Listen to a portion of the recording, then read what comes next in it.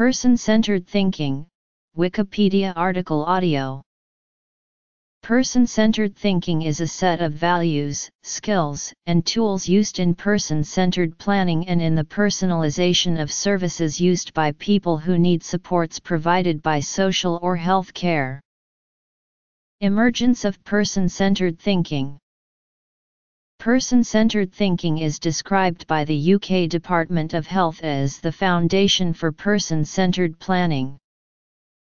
The British Institute of Learning Disabilities advocates person-centered thinking suggesting that such tools can be really helpful in assisting the process of getting to know a person really well.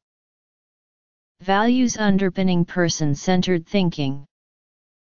a major piece of research into the impact of person-centered planning found that the prevalence of person-centered thinking in services was an important condition for services having the capacity and systems for delivering person-centered results. Person-centered thinking tools in common use include one-page profiles, working slash not working, important to slash important for, good day slash bad day, communication charts, donut of staff roles and responsibilities, relationship circles, learning logs and person-centered reviews.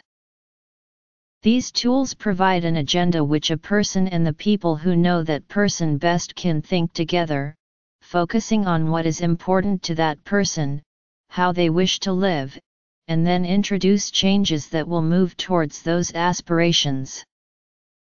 Practitioners of person-centered thinking suggest that it's possible to build up from one or two pieces of person-centered thinking, piece by piece based on the area of the person's life that they feel is most important to consider next. This process of building gradually creates a collection of person-centered information, equivalent to a full person-centered plan, and more importantly a range of CO-produced actions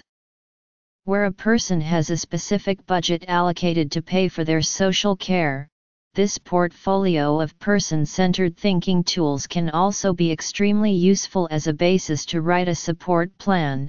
which explains how they will use this budget to meet what is important to and for them. Person-centered thinking was first developed by a group of people practicing essential lifestyle planning in the US. These planners realized that while many plans were being written, many of these were not leading to real change in people's lives.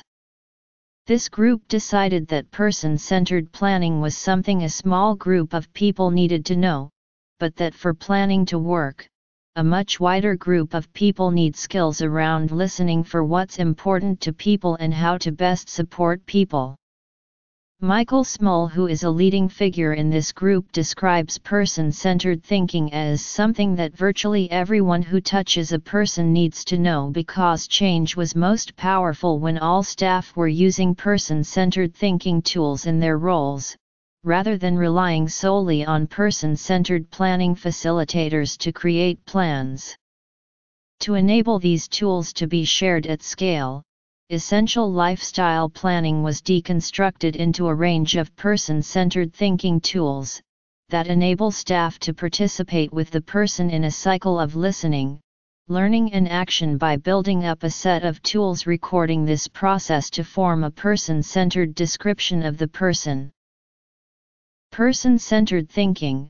like other person-centered approaches is based in the values of independence and rights, co-production, choice, and control and inclusive and competent communities.